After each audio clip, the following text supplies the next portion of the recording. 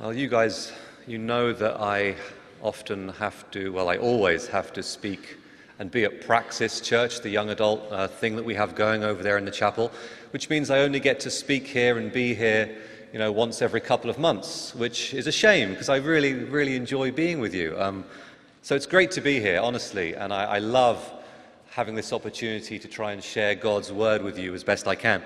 But I also get very nervous when I speak here. And this is the reason why, because I, I get nervous because of the combined years of wisdom that are in this room right now. Last night I got out my calculator and I thought, well, when I preach at Praxis, you know, let's say the average age is about 25 years old, and we have about 35 people going. So if you multiply that together, you get 875 years of combined wisdom in that congregation. And I thought, wow, that's pretty high. 870 years of wisdom. But then I did the same calculation for here, and I, I thought, well, maybe let's say the average age here is perhaps something like 45. And I think on average we have about 400 people coming. So I divide, I, I, I, I multiplied those numbers together, and it's 18,000. So, you know, I thought to myself, I really have to step my game up and make sure that my sermon is really on point because there's a lot of wisdom and intelligence in this room today.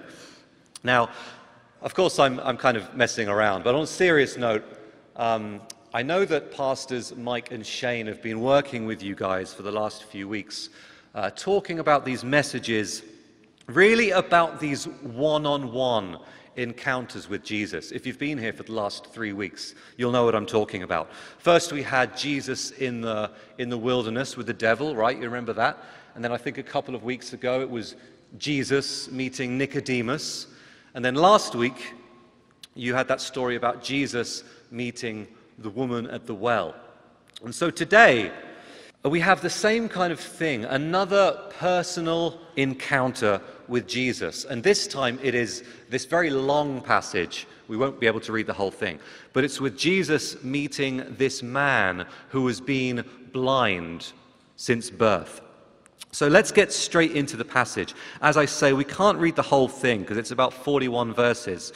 But we're going to read the first part now. The words will be on the screen. Um, yeah, just listen, just listen as, as I read the first part of this story. As he walked along, he saw a man blind from birth. His disciples asked him, Rabbi, who sinned, this man or his parents, that he was born blind? And Jesus answered, No, neither this man nor his parents sinned. He has been born blind so that God's works might be revealed in him. We must work the works of him who sent me while it is day. Night is coming when no one can work. As long as I am in the world, I am the light of the world. When he had said this, this is very strange now, right? He spat on the ground, made mud with the saliva, and spread the mud on the man's eyes, saying to him, Go wash in the pool of Siloam, which means sent. Then he went and washed and came back able to see. Amen. So let's stop there. We'll, pick, we'll kind of pick up the passage a little bit later. But for now, what's going on? Well, when, as you can see there, when the disciples come across this blind man, their immediate response is to ask, Well, what was his sin? What terrible things has this guy done in his life to deserve this terrible punishment of being blind? Or, or Jesus, is this inherited sin? Maybe he's blind because his parents did something really bad. Now, you've got to remember, this was a real belief. At, the, at these times, people believed that even a, a pregnant woman going into a pagan temple, even the fetus inside her would have been guilty of idolatry. All right, so this idea of inherited sin was really commonplace. And sometimes we might think that that's really old and archaic and pre modern, and we don't believe things like that. But I think actually many of us do mistakenly still believe that if we're suffering, we must have done something wrong in our lives to deserve it. I remember visiting this woman once in hospital, uh, suffering from cancer a few years before she passed. And she asked me, Pastor, what have I done wrong to deserve this? Why is God punishing me? And of course, this passage was perfect. I reminded her of Jesus' words This man is not sick because of a sin he or anyone else has committed. Good and bad things happen to good and bad people. That's kind of just the way the world works. But here's what Jesus goes on to say, which I think is really important. He says, This man's blindness is an opportunity for God to display his healing powers. If something is wrong in the world, it becomes a chance for Jesus to fix things. So, of course, Jesus urgently addresses this blind man's situation because Jesus' sole purpose on this earth is to bring light into situations of human darkness. Now, if you know the Gospel of John at all, you'll know that John loves to talk about Jesus as light. Okay, this metaphor of Jesus as light. Think about the beginning of John's Gospel. He says, In him was life, and that life was the light of all humankind. The light shines in the darkness, and the darkness has not overcome it. And of course, even outside of John, in the rest of the Bible, think of the very first words in Genesis that we ever hear God utter as he brings the world into existence. What does God say? Let there be light. So, throughout the whole Bible, we have this symbol of light, God's very presence creating new life, bringing brightness to those dark, empty spaces. So, I'm going to ask you now, and just be honest with yourself and just contemplate with me what are the dark areas of your life right now? We know that we all have them. Are you in a dark financial situation or with employment? What would it mean for God's light to come in and break through to you? Maybe you're too attached to money, too attached to your possessions. What would it mean for God's light to break through to you? Are you in the middle of a family feud or are you in the middle of an end of a relationship? Are you struggling with addiction? Are you struggling with lust? Or other bad habits? Are you tired? Are you depressed? Are you broken from feelings of guilt and shame about your past? Well, above all, Jesus asks that you just let his light break in to those dark places. Now, what Jesus is offering physically to this blind man, Jesus is offering the same spiritually to all of us, right? Jesus is offering light. It's why we sing in the hymn Amazing Grace I once was lost, but now I'm found, was blind, but now I see. Not because we're physically blind, but because without Christ's light, we'll always be stuck walking around in circles, walking around blindfolded, walking around in spiritual darkness. Now, this idea of light, if if you think about it, here's the interesting thing about light. You can't actually see light, can you? If I asked you to describe light, I mean, what would you say? You, you can't really describe light. But the way light works is actually far more interesting. Light helps you see everything else in the world properly. Uh, C.S. Lewis captured this idea marvelously. He said, I believe in Christ like I believe in the sunrise. Not because I see it, but because by it I see everything else. So Jesus is the light through which we see everything else clearly in our lives. Does that make sense? Another strange metaphor, but I think it works, is you know, imagine a dog a dog running up to the front here, coming into our service, and the dog would see the same things that we see. The dog would see the pulpit, the flowers, the piano, the organ. It would see all of you guys, right? But the dog couldn't interpret the data. We would have to give the dog human eyes in order for the dog to see properly. Likewise, God needs to give us spiritual eyes in order for us to interpret our lives properly. So, you want to know what type of parent you should be? You want to know what type of son or daughter you need to be? You want to know how to use your money? You want to know how to act in your marriage? You want to know how to treat the planet? How to treat animals? How to treat your enemies? How you should help the poor? The light of Christ is meant to give us proper vision in all of those areas. It is a light that helps us to make sense out of our whole existence. So, as we continue in this story, think, think about your journey with God. Think about your experience that you've already had with Christ. I want you to reflect on those moments in your life, right? Reflect on those moments when Christ gave you light those intimate encounters you had with Him that led you to prayer, that led you to your baptism, the time Christ saved you and transformed you. Reflect on when He changed your heart and gave you the power to forgive and love and show mercy and compassion. Now, in my opinion, there's only one thing in this story that makes this blind guy such a hero of the faith, and that is this he acknowledges Jesus as his Lord, and he recognizes the work of God in his life. Do you recognize the work of Jesus in your life? Now, what happens? Jesus takes some of his own saliva, mixes it with mud on the ground, makes like a paste, I suppose, and smears it onto the man's eyes. Now, interestingly, the symbol here is the mixing of Christ's divinity and Christ's humanity. That is the only thing that can save. Christ, the person who is God and man, is the only person who can heal this blind guy.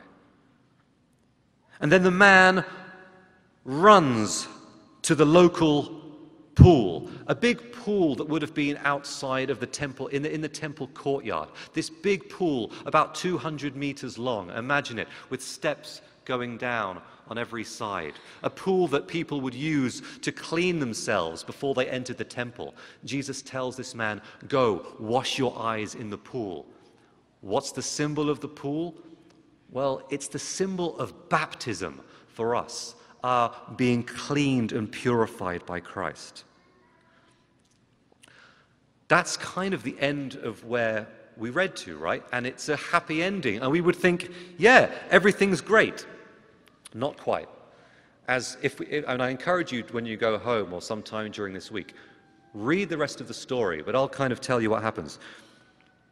When we read on, we see that not everyone wants to celebrate this man's being able to see.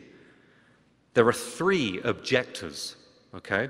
First of all, his friends. People come up to this guy's friends and they say, Oh, is this the same guy that used to be blind? And most of them say, No, it can't be him. It just looks like him. It's not the same guy. And then the Pharisees get really mad.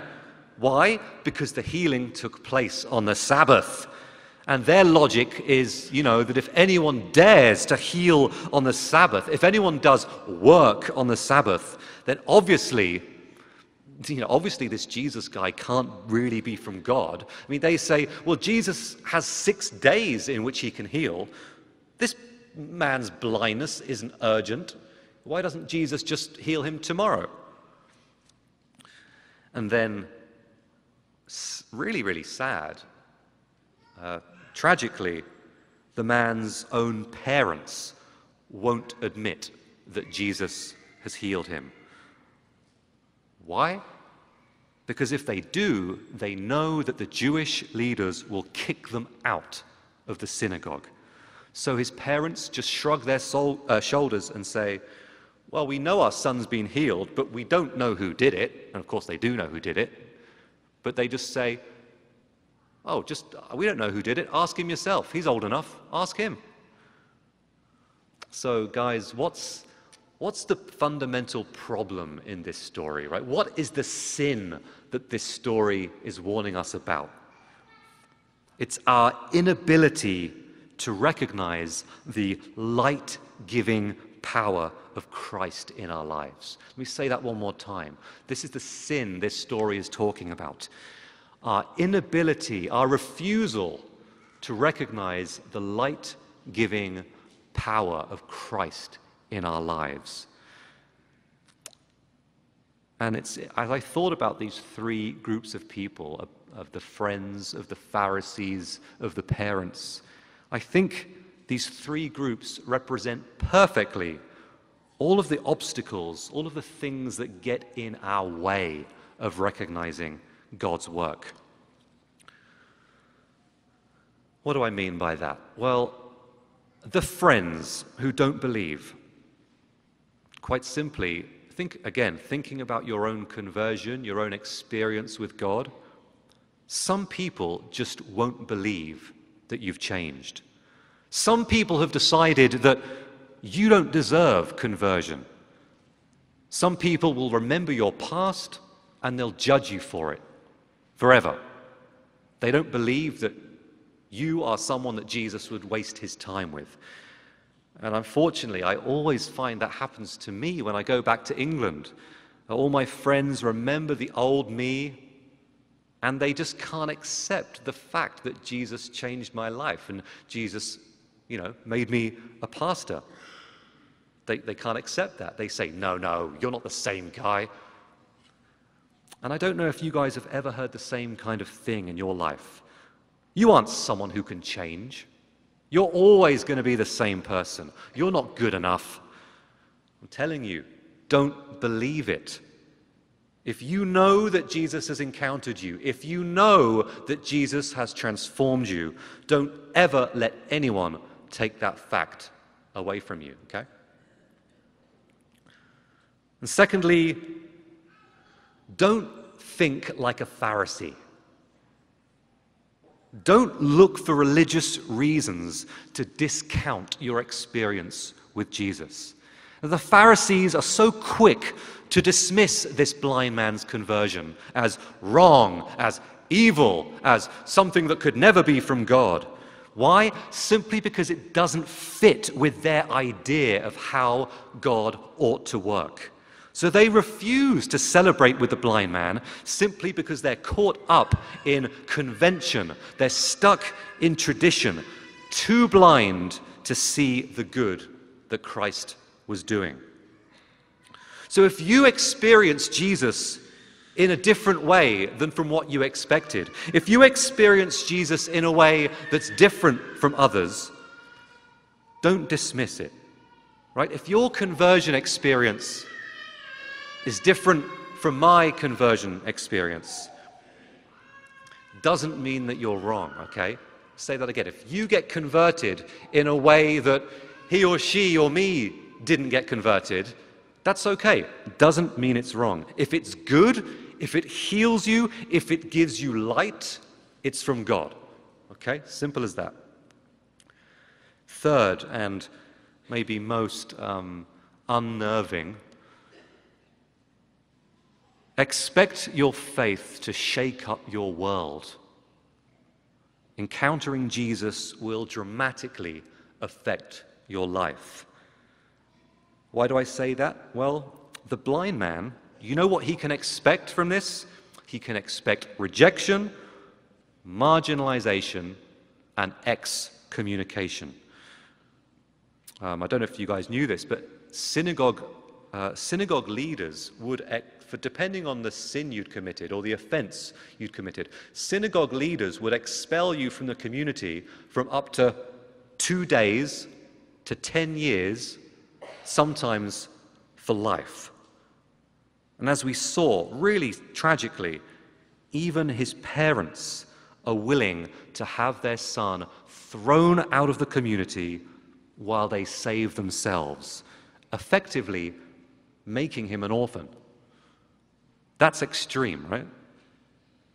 But the point is that publicly recognizing Jesus may mean that you lose friends.